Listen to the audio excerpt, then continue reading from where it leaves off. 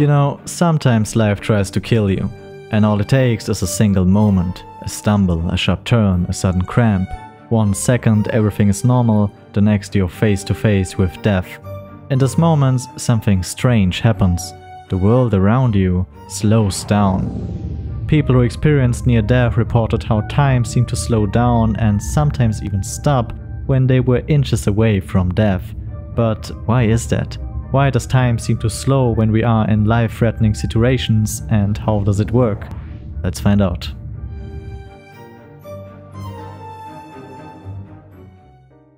As you might expect, when the world slows, it's not the world that's slowing down, it's you.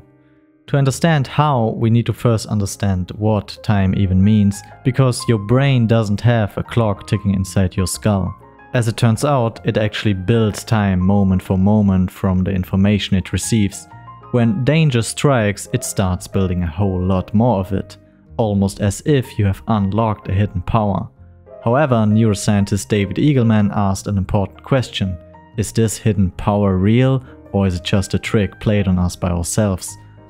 In 2007 he took volunteers to a 150 foot tower, strapped them into a harness and sent them backwards in a free fall.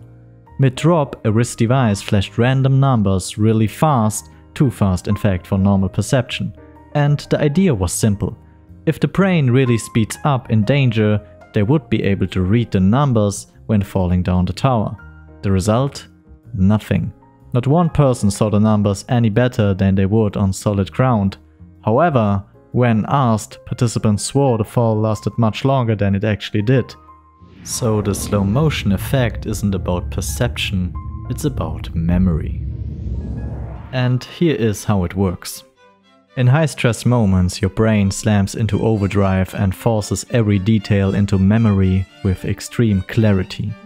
Each sound, each movement in crispy clean resolution. When you recall the moment later on, your brain has far more frames to work with and more frames make the memory feel longer than it actually was. It's like filming in slow motion. You are not bending time, you are just recording more frames so the replay can be played back as if you are bending time. However, while this is neat to know, there is a darker side to it. This highly detailed recording can mess things up. For some people, time doesn't just slow down, it refuses to end. People suffering from PTSD experience traumatic events with flashbacks that flood the mind with raw, sensory detail over and over and over.